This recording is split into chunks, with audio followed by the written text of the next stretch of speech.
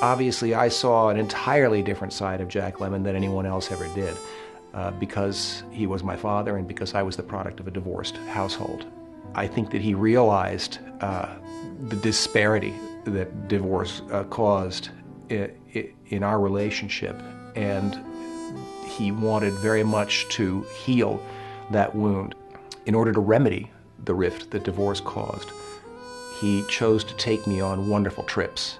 And they, once a year, we would go to magical places uh, for a week or two. Uh, it started with fly fishing in Alaska. Of course, fly fishing with Jack Lemmon is not fly fishing with Jack Lemmon. It's everybody else fly fishing while Jack Lemmon falls in the stream or gets chased by bears. It was truly magical to be around Jack Lemmon. He was a human leprechaun. No matter what he was doing, where he was doing it, uh, no matter what he was falling into or you know or trying to dodge, uh, he was just so much fun in such a unique and heavenly way, for lack of any better term I can think of, to be around. Jack was down to earth in terms of social behavior, but he was still a very complex guy. Just one word keeps popping back when I think of Jack, you know, even before dependable, uh, and that's delightful. He just was good company. And he really was a living example for me that there is grace associated with, as Woody Allen said, showing up.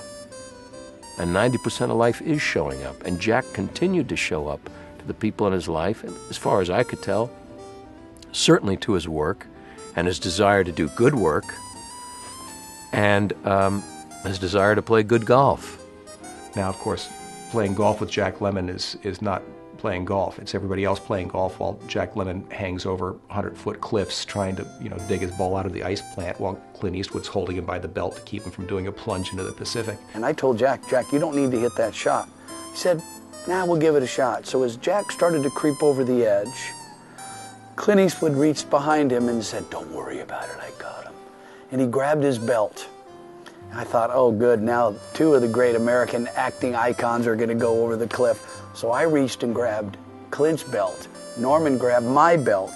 And Greg Norman's caddy, Pete Bender, grabbed Greg's belt, all connected to Jack Lemmon as he is doing his best to extricate this golf ball from this ice plant. And lo and behold, this thing popped out back into the fairway. Well, he was high fiving everybody. We had a blast. We laughed at each other. We were just, it, cameras were popping everywhere. It was fantastic. Well, Jack gets to his ball probably now 40 or 50 yards from the green, asked his caddy what kind of shot he wanted to play, and the caddy said, well, just hit a low skipping wedge in there. And Jack said, I'm going to knock it in the hole. And well, he made a mighty swing at that wedge and shanked the ball right back into the ocean.